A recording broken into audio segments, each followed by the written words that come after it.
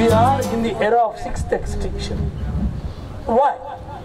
Stupidity and greed is going to maybe about another 20 years, maybe 30 years. Recent report of the climate change. Bangalore is the first victim of all problems.